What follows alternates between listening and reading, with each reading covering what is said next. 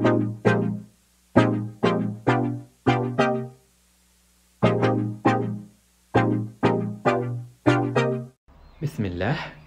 अलैकुम। उम्मीद करता हूँ आप सब खैरियत से हैं। मेरे चैनल में आपका खुश आमदीद। तो आज की रेसिपी स्टार्ट करते हैं। आज हम बहुत मज़ेदार, क्रीमी फ्रूट चाट बनाएँगे। जिसके लिए मैं खजूर का इस्तेमाल करूँगा? आप उसे छोटा छोटा पीसेस में कट कर दें। साथ में मैंगो का इस्तेमाल करूँगा। उसको भी आप छोटा छोटा कट कर दें। अगर आप मेरे चैनल में नए हैं और आपको ये वीडियो पसंद आती है तो प्लीज़ मेरे चैनल को सब्सक्राइब करें। यहाँ मैंने एक ऑरेंज भी ले लिया है, उसको भी मैंने छोटा छोटा कट कर दिया है। साथ में आप एक एप्पल भी ले लें। आपके पास जो भी अवेलेबल फ्रूट्स हैं या जो आप फ्रूट्स पसंद करते हैं, आप उसका इस्तेमाल कर लेना। यहाँ मैंने अंगूर लिया है, उसको भी मैंने छोटा छोटा कट कर दिया है। साथ में मैं एक केला लूँगा, उसको भी मैं छोटे छोटे पीसेस में कट कर दूँगा। अब हम मज़ेदार सी सॉस तैयार करेंगे, जिसके लिए मैंने हाफ़ कप चिल्ड क्रीम लिया है। दो तीन मिनट के लिए हम इसको अच्छे से बीट करेंगे।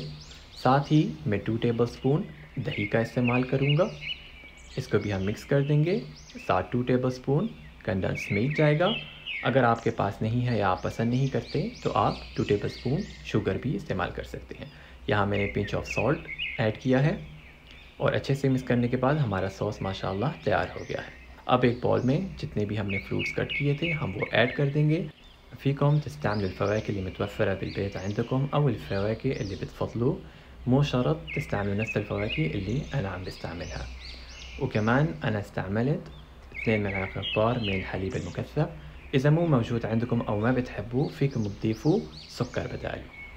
साथ ही मैंने किशमिश ऐड कर दिए थे और ड्राई फ्रूट्स क्रश्ड मैंने ऐड कर दिए अब जो हमने सॉस बनाया था वो इस पर हम ऐड कर देंगे और अच्छे से मिक्स कर देंगे और मज़ेदार से माशा अल्लाह तबारक रहमान फ्रूट चाट तैयार हो गई है अगर आप मेरे चैनल में नए हैं और आपको ये वीडियो पसंद आती है तो प्लीज़ मेरे चैनल को सब्सक्राइब करें, लाइक करें, कमेंट करें और शेयर करें। मैं आपके लिए डेली मज़ेदार और आसान सी रेसिपीज़ लेकर आता हूँ।